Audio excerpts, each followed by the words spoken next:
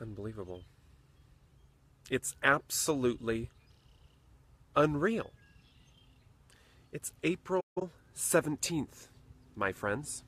April 17th. You want to see?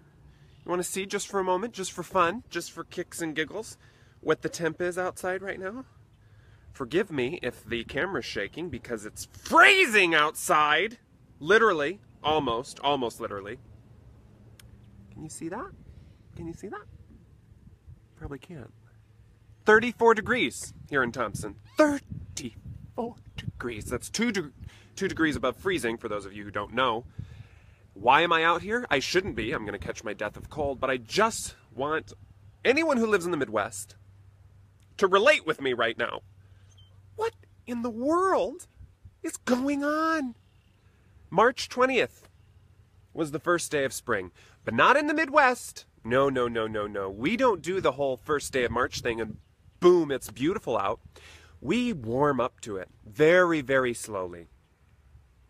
Facebook asked me yesterday, Facebook, right where my status thing is, as if they were patronizing me. Aaron, ready for the snow in Thompson today? No, I'm not ready for the snow today. I don't want snow. I'm done with snow. Snow was so a few months ago.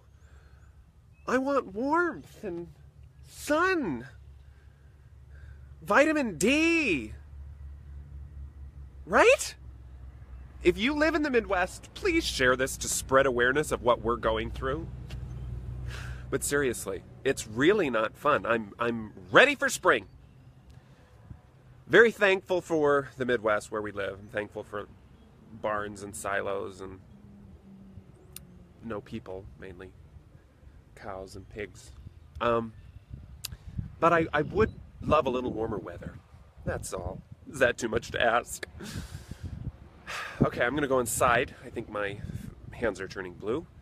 Uh, take take heart. I think things got to change soon, right? Meanwhile, stay strong. Thank you all. Have a wonderful day. Good to see you.